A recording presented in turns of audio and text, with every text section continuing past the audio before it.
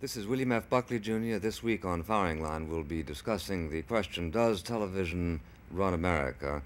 And our guests will be Mr. Alistair Cooke, Mr. Robert MacNeil, and Mr. Clifton White. Tune in if you feel like it.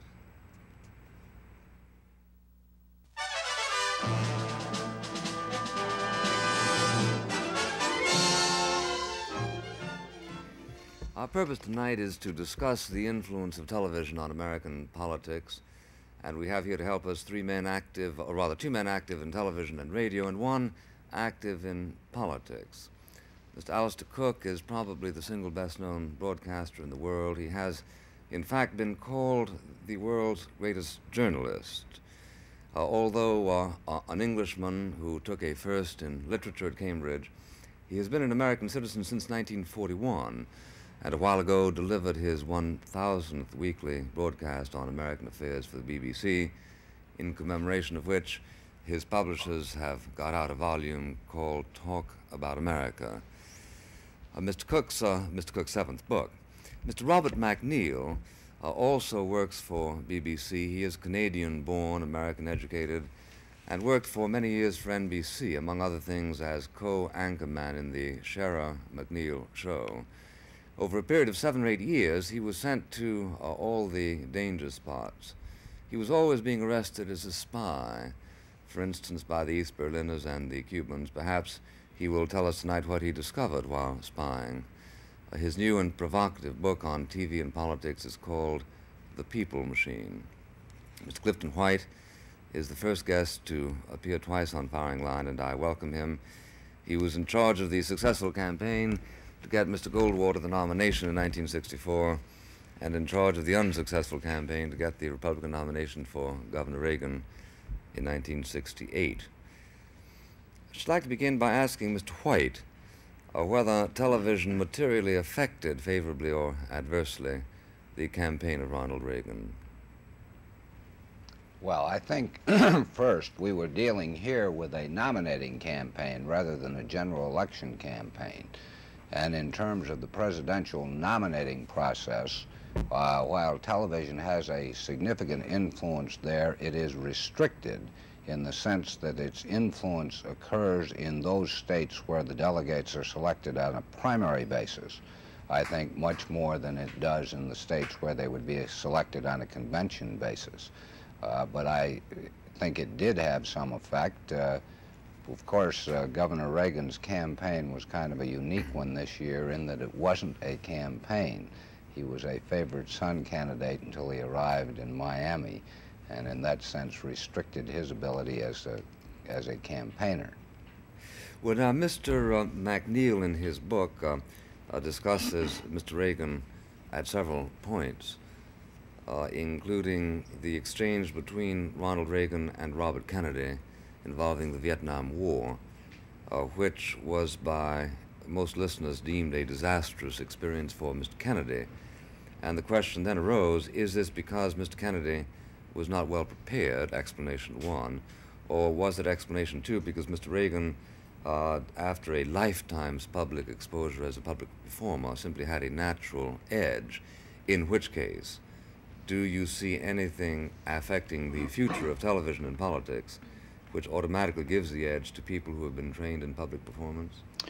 Well, I think without any question, uh, the candidates in the future, uh, as well as in this year, uh, are going to have to uh, be able to use the television medium and use it effectively. Now, there are certain things and certain manners in which they can be uh, schooled in that direction, I, I assume. And I also happen to believe that a fairly continuous exposure uh, does allow the, the real man to project himself uh, rather than uh, you're just being able to uh, prop up an individual through the utilization of television itself. But if, what, if, what if the real man is not, not altogether desirable? Can you suppress the real man? I don't think so. I don't think so on the basis of continuous uh, exposure. Uh, you can in the circumstances in which you control his exposure. But if he is required, as I think our major candidates are going to be required to expose themselves in situations which they do not control, then I think that the man's ability and, and personality will come through. Do you agree with that, uh, Mr. Cooke, or, or you, can you think of somebody who was really successful in a sort of a continuous imposture? Uh, I think imposture is the word, and it's not necessarily uh, hypocritical to use it, because I think the uh, the great artists, this is a medium which requires art, uh, television, uh, are the people who can, let's say, like Bing Crosby, might very well, if he were 20 years younger, be be president. You're not serious, are you? well, he has the gift, you see, of I don't know what Bing Crosby's like as a human being, but he has the gift of, of impersonating an extremely agreeable, natural man. And it is the natural man, I think, that the television is after. Now, people say you take one look at a man and you know him. I don't think you know him at all. I saw that Reagan Kennedy debate and changed dramatically my feelings about Mr. Reagan because there was no question.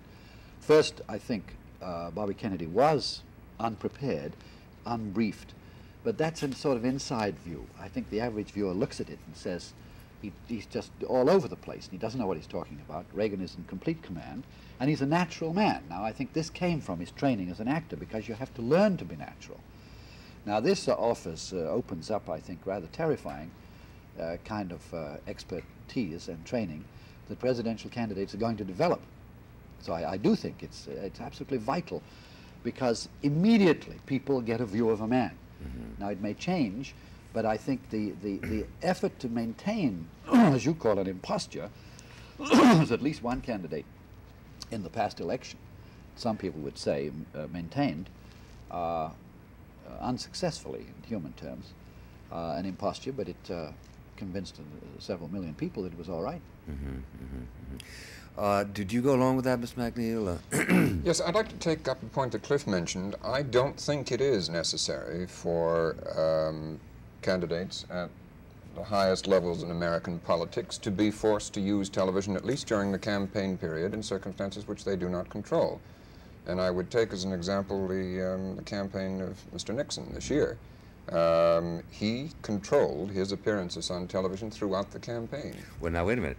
He uh, gets very angry when you say that, uh, as, as you may, the, may not know. Yes, I know. With with the exception of um, uh, with the exception of two appearances at the very end of the campaign, when he did feel obliged to uh, to appear and be questioned. No, but even those quest even those random sample questions from people in various regions of the country, uh, he and the producer, Mr. Frank Shakespeare, absolutely swear were picked at random. Yes, but they weren't going to put ones on the air that weren't that were uh, grossly unfavorable to him, or put him in a very unfavorable light.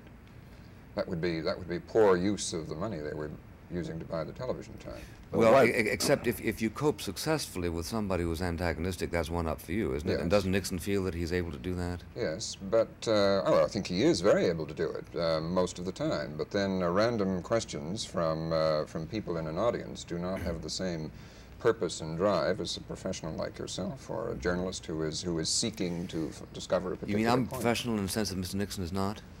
No, I mean as a questioner, you are professional. Successfully oh, yeah. professional. Yes. Yeah, yeah, mm -hmm. yeah, yeah. Sorry. Well, I, no, I think the point that, that uh, Mr. MacNeil was making uh, is a valid one, though, for us to recognize. I think the fact that Mr. Nixon did accept even shows toward the end uh, of the campaign uh, indicated the the opportunity that we have here, both through our our own television medium, press, and the public to say that a candidate for public office is going to have to expose himself uh, to the public uh, through a medium uh, that uh, large numbers of people are going to observe. Now, I think that's an important consideration, though, in the utilization of television in politics, that we have to have the candidates exposed in beyond the controlled uh, medium Beyond where they do it themselves. Absolutely. Now, yes. they, they will use the control, and I think they have the legitimate right there because I think the candidate has the right to present himself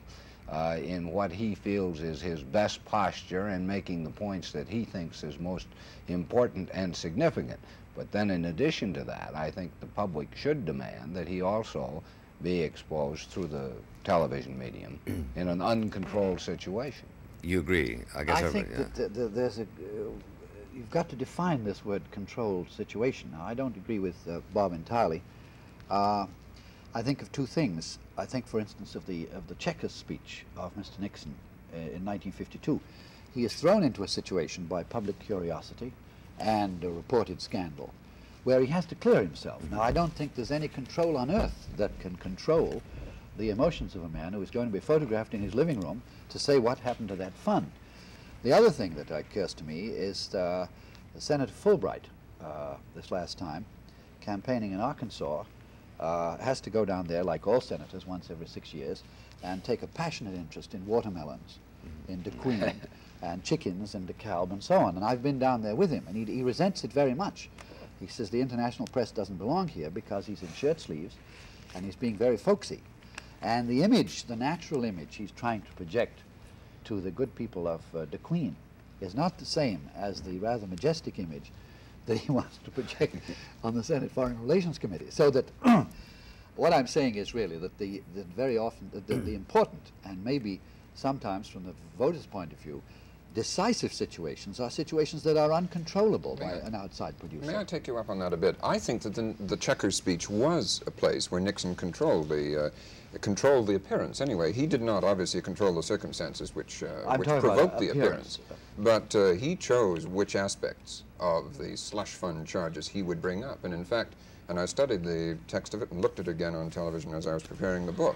In fact, he dismissed the slush fund charges very quickly, the, the meat of the charges, um, without ever really denying them, and then went in, spent the bulk of the half hour, about 20, 25 minutes, um, discussing in very folksy um, human details the um, private finances of Pat and Dick Nixon, who he claimed were mortgaged to the hilt. Yeah, but in, in a sense, it seems to me that he was there uh, accepting uh, the offensive nature of the charges, which really went less to the disposition or deployment of a few dollars than to whether or not he was systematically That's uh, right, yeah. uh, aggrandizing himself, and therefore it was in the gen- in the general sense a, a, a, a, a licensed elenchus Yes. to return by saying, "Look, if I'm if I'm that greedy, why aren't I rich? And if I've got nothing at all, what do you really have against me?" I think it was entirely appropriate that he used this medium. It was probably one of the best and most democratic uses of the medium we've seen since it became a national medium.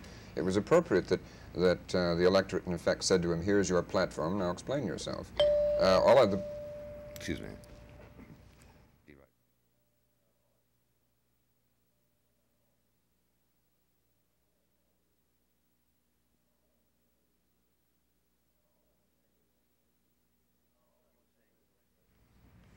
You were saying, Miss MacNeil. uh, all I wanted to say was that I think the uh, Checkers speech might have been different if there'd been two or three reporters, for instance, interposing themselves between the audience and Mr. Nixon. Couldn't be said that And saying, let's stop talking about checkers for a while. Yeah, or I see something what like mean. Yeah, that, sure. right. Well, if, sir, sorry. Excuse me. Uh, what occurred to me again was uh, what fascinates me about this uh, this topic and gives it, I think, uh, a, historical frame of reference is the fact that if you keep looking back to what people might have done in other campaigns, what occurs to me is that uh, Grover Cleveland, the Republicans discover a lady in Ohio, in Cleveland, Ohio, by an odd coincidence, who says that she has uh, a baby by the man, this fine, upstanding uh, man from New York, uh, Grover Cleveland. Now, certainly today he would have to go on television and, and, and say, as he did say, of course, but he said it in a very succinct little thing. He said, that's right. He won the election. Now, theoretically, by Edwardian uh, ethics and all our sentimental views of them, this would have been absolutely fatal. But he would have had to go and make a checker speech and say, it's my boy. I've kept him for the last eight, 32 years. And what could be finer than that? Which is really what he said. Ma, now, ma, what would be the Pa? effect today on television? They're all going to get into situations like checkers. I mean, you can't have a man say, I get my campaign money from Boss Tweed, and not bring in Boss Tweed, because the, the, the cameras would go at once to Boss Tweed's hideout or his suite at the Waldorf or whatever. Well, in, in that sense, you think that the television then becomes sort of a hygienic uh, medium. I uh, do. Yeah. I think it's immensely healthy. It may produce seeming chaos on the surface, but Yeah. people do get to know what they're Can you against. think of anybody who's been sort of run out of public life as a result of the instant exposure of television? Joseph Joe McCarthy, I suppose, is the uh, wasn't instant. say instant exposure, prolonged exposure. Um, he was, no doubt, he was defeated by by television. Well, I don't and run believe out that. of public life. But you don't believe I that. believe he bored the Senate. which is a much worse crime than infuriating Very the difficult to American do. people. It's difficult to do, but, uh, but if you bore the club, Yeah. it was not moral indignation, I don't Yes. really think. The, the exposure people got to, they think they get to know a man. Now, on your checkers thing, uh, half the population or less said, what a nauseating man. Yes, they did. But two-thirds said, what a fine, upstanding character and what a great confessional speech. Mm-hmm. So people are not going to take the natural man the same way uh, any more than they do in life. Well, I'd like to uh, uh, ask, if I may, the two of you, preparatory to having a definitive answer from, from Mr. White, uh, to comment a little on something that uh, Mr. MacNeil spends uh, some time on in his book.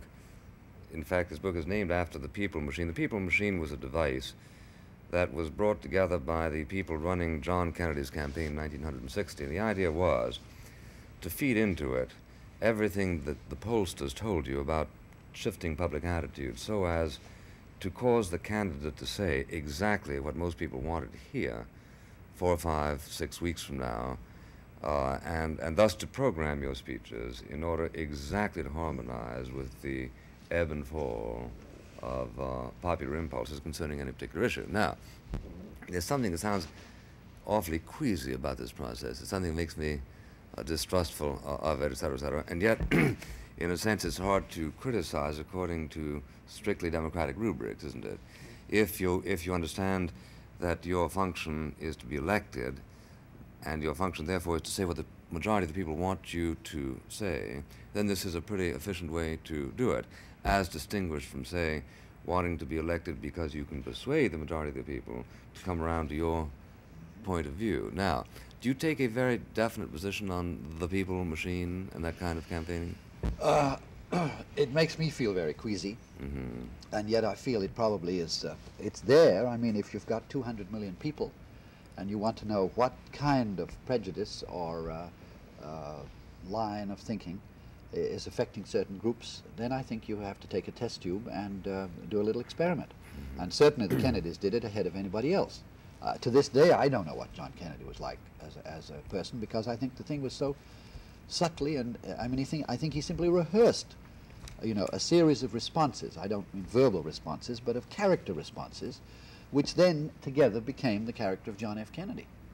And it may well be that the, the people could be thoroughly fooled in thinking that they've got the most representative, the finest type of American, and that the whole thing is synthetic. Yes, I, the, the actual democratic ex experiment in 1960, which I think we're going to see a great deal more of in future by 1972 and, and 76, went a bit further than you suggest.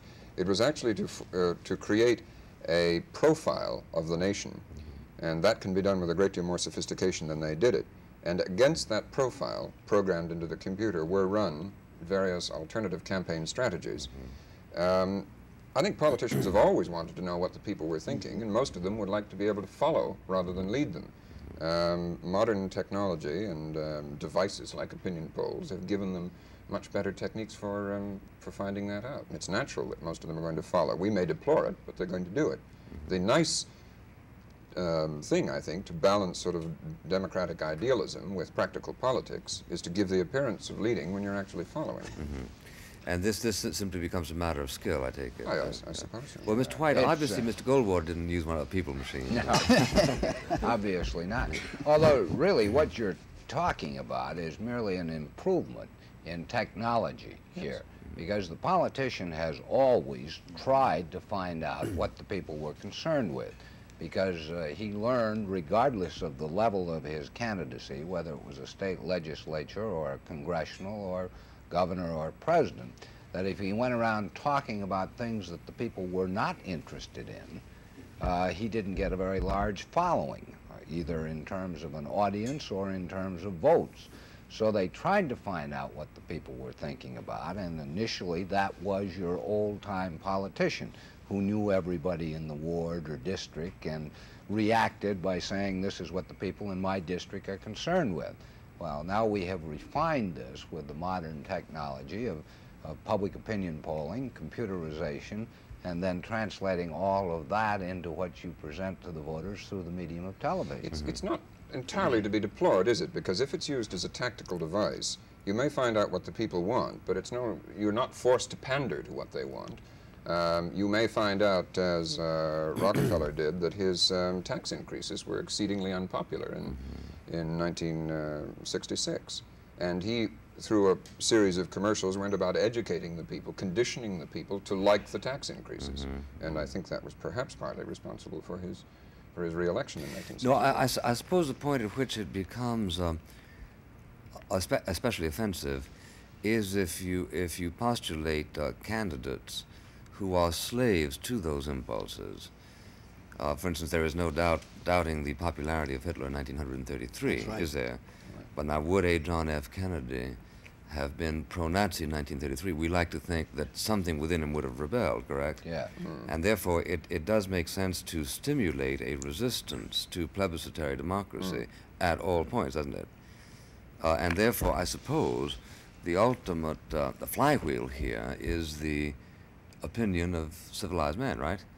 The, the opinion of decent and well-informed men whose job precisely it is to stand up against the zeitgeist when it becomes necessary to do so and say, don't. Yes, there is an adjunct to the people machine, which is which I discussed at some length, and this was what worries me: is when a politician has found out through some version of this machine what the people want, decides for tactical purposes to exploit it, then uses all the techniques of, that Madison Avenue and television make available to exploit it.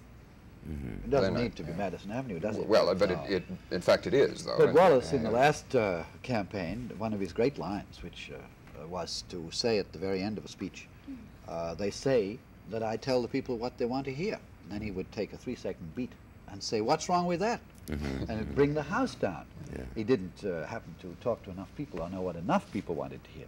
But what I want to know is what happens to the, the idea of democratic leadership.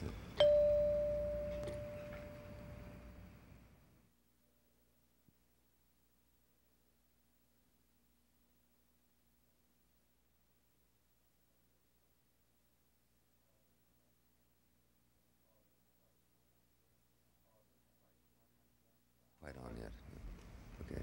Uh, Mr. White, do you want to answer that? Uh, what does happen to democratic leadership? Well, I think the uh, the problem is the same thing here. First, we we hopefully have competition. We have competition uh, by, within a party over the process of the selection of the candidates, and hopefully, hopefully, uh, men who have leadership will emerge there, and then we have competition between the two parties uh, ultimately for this. And I still believe, uh, in my original statement, that with prolonged exposure, the person does come through on television as well as he does in what do you want to call it, real life. Uh, he has merely learned perhaps to use a technique better, but on prolonged exposure, he's going to be the same person. So you have the same problem of leadership being developed, it seems to me, as, as you've always had. And it, it's still a difficult problem. And occasionally we may get an individual who is not capable of, of leadership uh, through uh, the utilization of this media, but I, I don't think the failures will be any greater than they have been historically. Well, what about the historical business? Would you say that um, uh, that that in the age of television, we have had more popular leaders and less popular leaders, i.e., the television has polarized more than was the case in the pre-television era? I don't think so.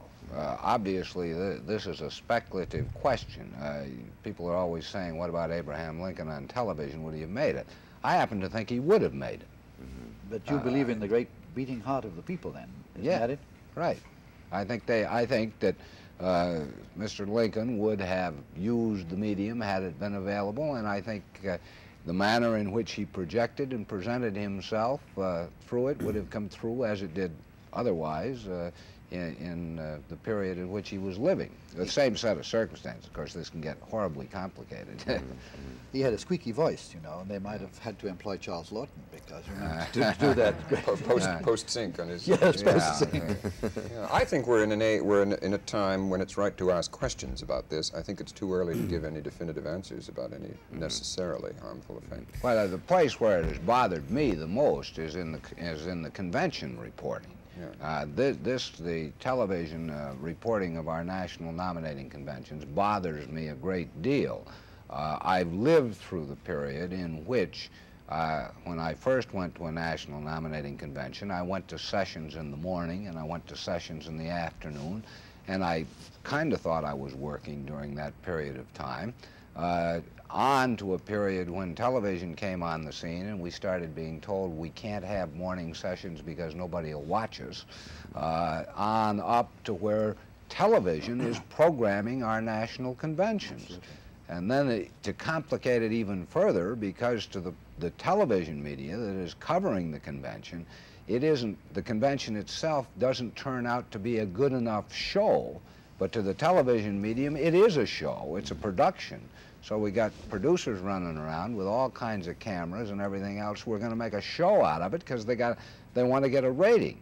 This, I think, is uh, where we have some very serious problems in regard to television as to whether our conventions can survive as effective and viable instruments if we're going to make them television shows. Should they survive? Well, I'm inclined, I'm not totally opposed to the convention system. I think uh, uh, it needs some reform, but I think uh, it can be used reasonably effectively, and I'm not sure what you substitute if you eliminate it. But I am reasonably convinced that it is not going to survive as an effective system or instrument for selecting people for the highest office in the land if it is structured as a television production. What would you propose then? Well, I think I, I, I think that we have to first restrict the, the, the, the television coverage of it to a degree. Uh, you know, have reports on what happens. Uh, uh, I'm willing to concede that maybe 200 million Americans aren't willing to listen to four or five hours of speeches in an evening, uh, and yet maybe those speeches are important uh, to the delegates who are assembled in that it gives them an opportunity to see their leaders and make judgments in regard to them, or hear them before committees and discuss matters more privately. Uh, I understand or have read that at one of the, Demo the Democrat convention, one of the networks was bugging one of the hearing rooms. Uh, uh, you know, there are certain things that you have to discuss in this business uh, that are not necessarily the sort of things you want all of the 200 million American voters to hear about. Fra Frank Stanton of CBS said some years ago that television had forever pushed open the door of the smoke-filled room. Yeah. and I don't think that's true, true, at all. Yeah. It's, it's pushed the it somewhere else. The point is it keeps receding, yeah.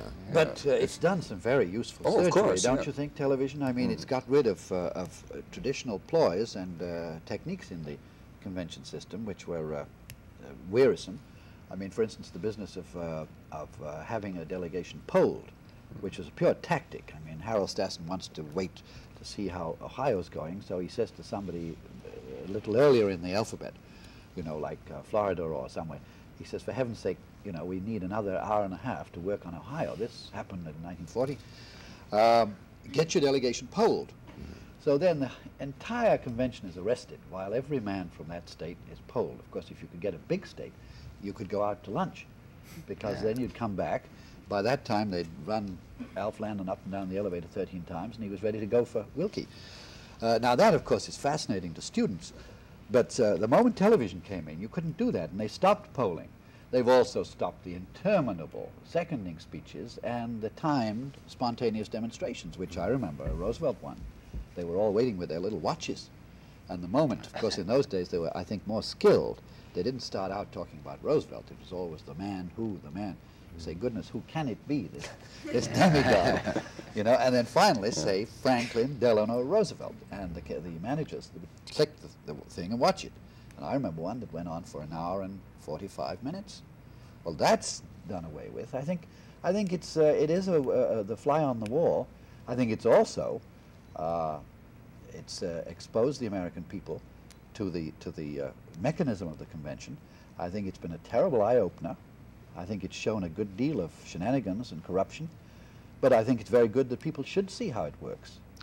It's, it's got necessary shenanigans in it. Well, yeah, I think there's a natural evolution towards uh, more restricted coverage. We saw it this year at yeah. ABC of the three networks as you know very well, carried uh, restricted summary coverage. What's the tema? The other, the other networks um, were feeling the economic pinch because the audience was not as fascinated, uh, at least until Chicago, um, thought it wasn't going to be as fascinated with conventions yeah. as it had been in the past. Yeah. And um, And I think So it's, likely to find its own uh, a, level Yes. uh, where it's sort of well, they have, the networks used the conventions to build up audience from 1952 onwards. You can trace the growth of television through the through the convention audiences, Yeah. and to sell television sets and Well, expand the audience. All right. Well, conceivably, 10 years from now, perhaps educational TV will run gavel to gavel business, and, and the others will all run selected. that might be a good uh, solution. Let me ask you this, uh, because uh, you raised the point again in your book. I think it's very interesting that um, 64% of the American people apparently confess that um, they are they receive all of their information on politics from television. And again, as you point out, it's probably higher than 64% because a lot of people don't like to confess how little they read. In any case, that would suggest that it is the, the primary uh, epistemological instrument. Yes.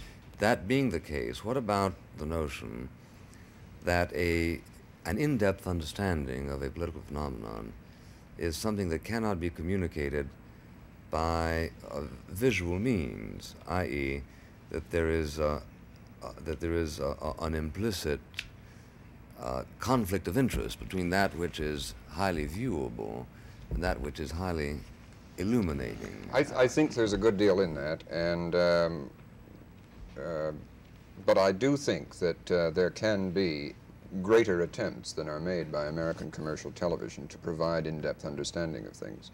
I mean, uh, Could you give an we, are, we are well. We are discussing a, a subject in some depth for an hour or so on this program, and um I don't know how much in-depth understanding we're uh, providing of it, but we are discussing it for an hour, and we're discussing some of the subtler points. the and only visual appeal ramifications. is ourselves, right? Well, But may I, I'd like to challenge the idea, uh, it's been an, uh, sort of just let lie as an implicit thing, that, uh, that you get more depth from, uh, from reading than you do from watching.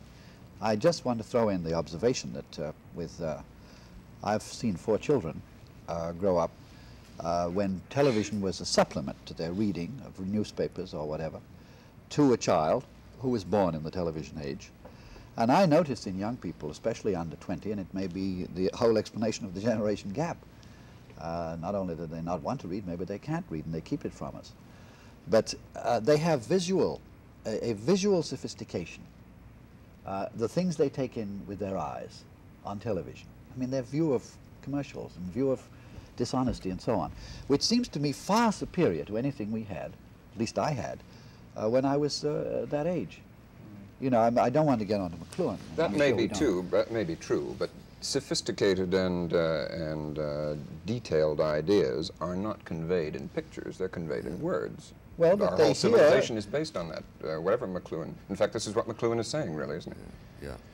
But you hear all the people who have relevant and irrelevant things to say, all the people in command of a situation. You see them on television, hear them.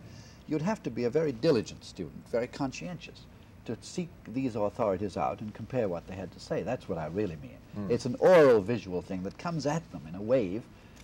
And it seems to me that they, their, their knowledge of politics and their judgment, therefore, because they, they're exposed to all this experience, to real experience of politics, which we were never exposed to. You had to go to conventions, you had to talk to precinct captains, you had to spend an hour with Jim Farley. They get it. I do think it's. Excuse me. What do you think?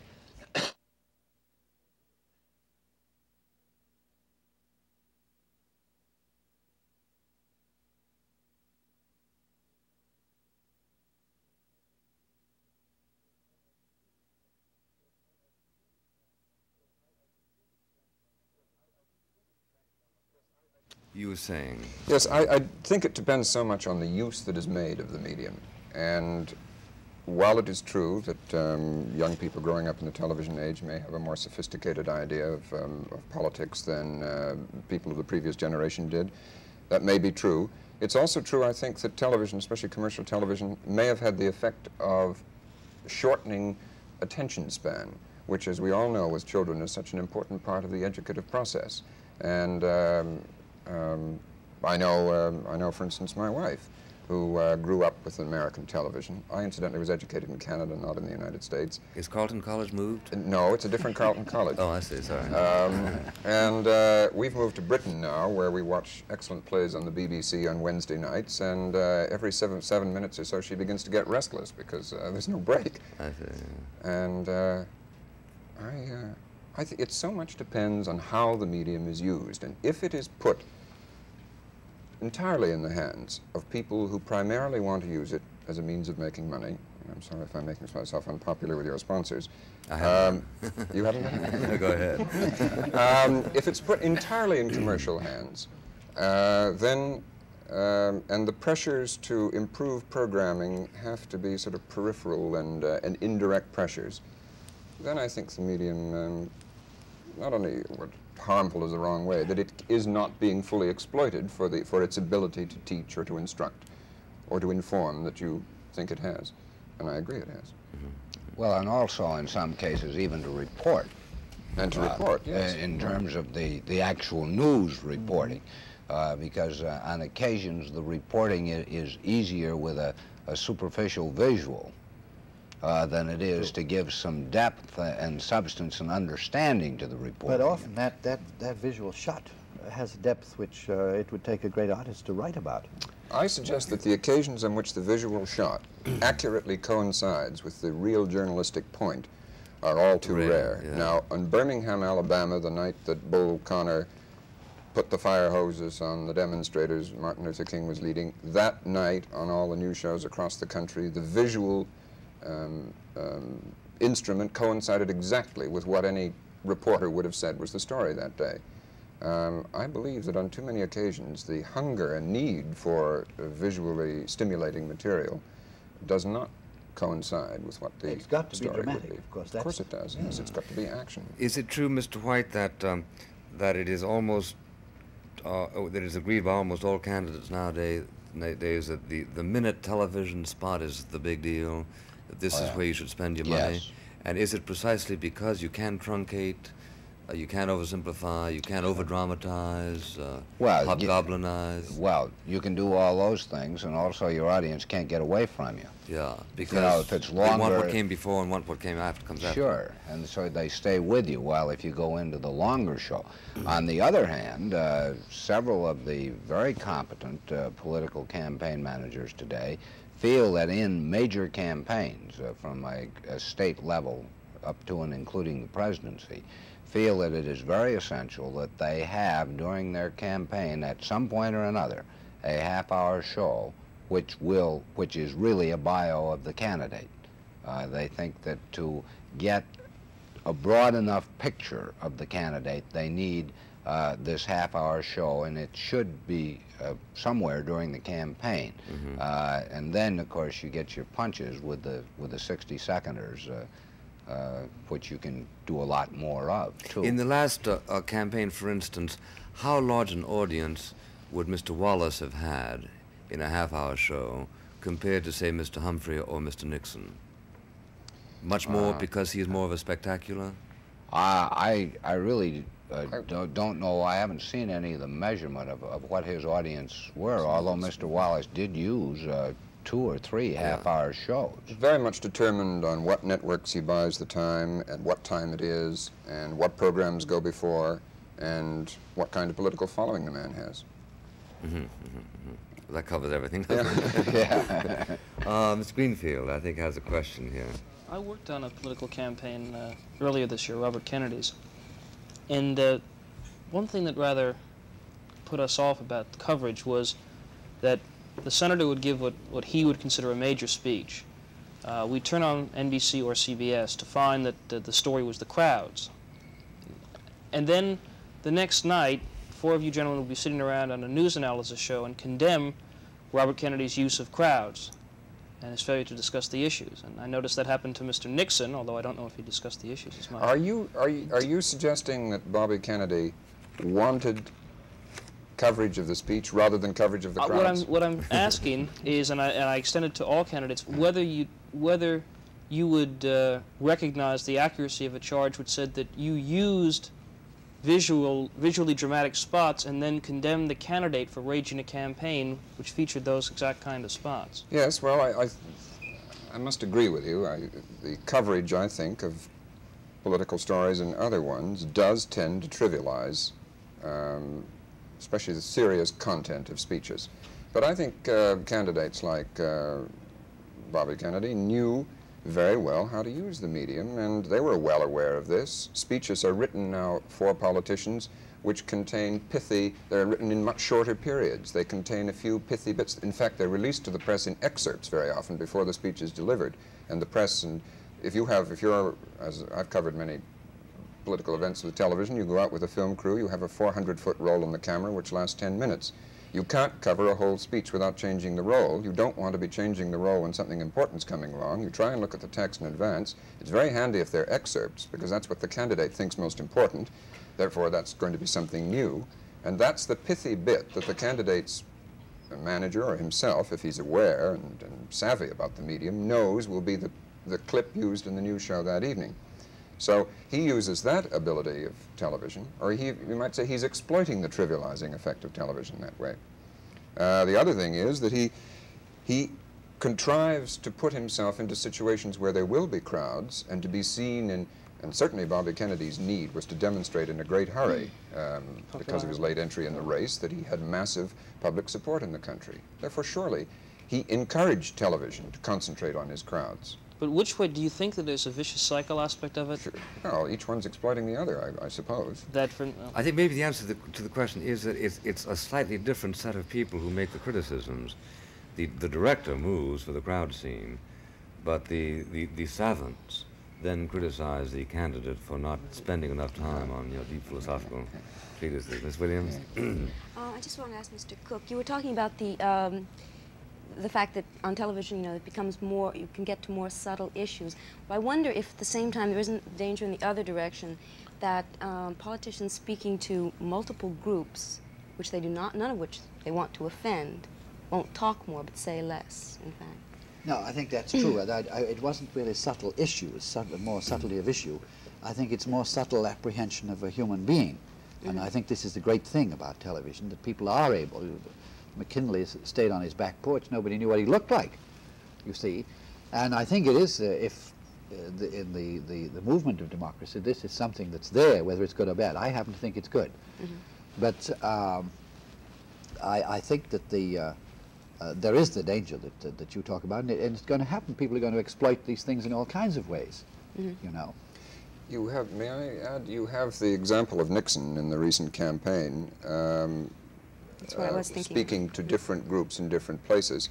But he got around it by delivering more or less the same speech everywhere, Oh, but they all saying, saying very little in This the is- speech. This is exactly my my point. I think. But you see, my- excuse me, my, my uh, uh, Bob, uh, uh, part about talking to different groups, is I think people are not stupid. They will realize that this man is putting up the same front to different people. But what I think we, we, we, we, we've forgotten about are the personal interviews in a house across a hotel lobby. This is, this is the thing that television does best. What's happening now? And uh, more and more you see uh, candidates caught, so to speak, off guard. I mean, in the sense that, that this walk across a hotel lobby is not programmed or written up for them. And that's it's in those fleeting glimpses that people decide whether he's a nice man or not a nice man. And I believe that even the most sophisticated Did that people- happen to Wallace, do you think? Oh, very much so, and I think uh, very much to That's his, why he uh, got so far fewer votes than was expected? Well, and, and possibly more than he would have if he'd simply had to make straight speeches on radio. Uh, there were just as many people who found Wallace a disarmingly agreeable fellow in private, Yeah. and television can now is a private eye, uh, so that I think it works both ways. But don't you think that we get just as often the annoyance of the man with having another microphone stuck in front Oh, of his face at the convention? This seemed to me. You see lots of that, no question. And but it it does does get get pretty natural this annoying, whole- Yes. But also, th- this is a case where um, the man may be a nice man, but he may not be a very adept at, uh, at this, at responding in this, in this way, and uh, it, it, it favors the people who are glib, instantly glib. Might And the television irritable. audience apprehends and appreciates glibness because it's conditioned I wonder, to, suppose there'd been glibness. television cameras in 1948 when we were all on that train. I think it came into Cincinnati with Thomas E. Dewey. The one that almost ran over the guy, yeah. And uh, it- the, the, the train suddenly went wham. There was a tremendous jolt. And also where it was a whole raft of uh, suits from impoverished newspapermen who, who suddenly got intervertebral discs and things. I believe they're still paying off. But uh, uh, Dewey, uh, there would have been a camera there as he was about to come off the train. He was just about to step off, and this train jolted, and it certainly threw him as it threw all of us. And he said, Who's that damn fool of an engineer? Well, that was it. The next day, Harry Truman came through and said, Dewey, isn't that the man who said, you know? And Dewey instantly, uh, Truman the next day instantly insisted that that engineer be at the station. And of course, he embraced him. Now, the theory was that uh, Truman, you know, picked up 200,000 votes. On television, it might have been more, but I maintain that maybe there would have been sympathy for Dewey, too. Yeah. I think it's impossible to figure these things.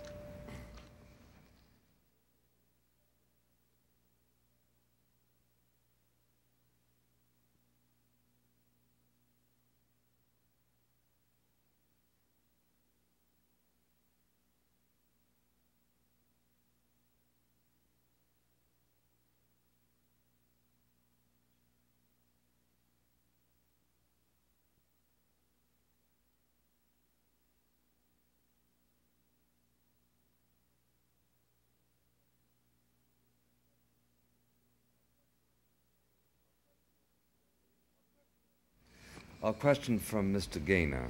Yeah, Mr. MacNeil, as you know from surveys taken, the majority of American people have little interest in politics. Do you feel that television right, might reach a political saturation point, not only in terms of conventions, but also in terms of uh, candidate, personal candidate advertisement, and turn both people and television sets off? Well, yes, and it, I think it did that a bit in the in the 50s when it was first used. Perhaps it still does it, but I think the the managers have now learned this, and that is one of the reasons why shorter and shorter time segments are used in making their pitch. Um, so, Yeah, but for instance, in the last day of uh, the, the uh, 1968 campaign, um, the last night, there were uh, rather long television shows by all the major candidates. And don't you think the, the public, by that point, had reached rather a saturation point? They, they'd heard everything these people had to say already? Well, I don't, I don't know. I would, I would have to uh, see some figures on that. I'm inclined to think not. I, perhaps, uh, I think the interest is be high at the conventions, falls off during the campaign, and perhaps rises again to the very end. What are the And we also have, of course, uh, in, in every election, you have that category that the public opinion polls have uh, established so well for us now, the undecided, uh, which may not be accurate, but you do have a group of people, perhaps because of their limited interest in sustaining power in politics, who suddenly are facing the problem of having to go vote tomorrow or not go vote. And uh, therefore, they are interested for 24 hours uh, in who are we going to vote for. And because this is such a critical group in any election, you never win elections by 10%, you win them by 1, 2, 3, or 5. so this is a very critical group that you're after. You may lose some votes because they may say, I don't like any of them, and they were on too long and, and messed up my regular show. Mm-hmm. But it's not the kind of risk that you're going to take if you're a politician. You are going to go after that critical margin, and I think this Especially if you're behind, saturation. right? Yeah, Well, I think either way, uh, because you, you still need to make sure that they get there. sure. Mr. MacNeil, do you think that the television in 1968 affected the outcome of the election? I think the use of television by Humphrey probably helped him catch up um, towards the end. Um, I think Nixon's use of television was not as skillful as it might have been. He Uh, went was in, it because of his own uh, uh, metaphysical limitations or lack of uh, superior direction? Um, I don't think his limitations are so much metaphysical as physical. Um, and uh, oh, he's just not pretty, you mean? no, he, he, he, he has. If this is metaphysical, then then yes, he seems to have a great inhibition about demonstrating generosity of spirit and, and charitableness and compassion, which I'm sure he feels because we've all probably interviewed him at length at one time or another, and he. He has these things. Humphrey, on the other hand, could, could demonstrate these things uh, like turning on a tap. Yeah. And I think that is the kind of thing that television. Um, And Lyndon Johnson, in your book, uh, has the same difficulty, yes, right? indeed. Yes. Yeah, he, uh, even more so, I guess. Yes, he's inhibited by the medium. I think uh, he, he doesn't have the difficulty of turning on generosity of spirit and person, No, which even which Nixon has. Only like a pious Mr. Chadband. I mean, he, uh, he's totally unlike himself. He is. The American people have never seen Lyndon Johnson. Well, if television didn't exist, might um, the American people think that Lyndon Johnson was a nice guy? How would they get to know him? well, how'd they get to know Lincoln? Well, I think They didn't. They heard Yeah. about him, and some people thought he was a baboon, and so, some people, you know, were, were moved by what he said. I think what he said was very important in those days. television is something. What something. they read.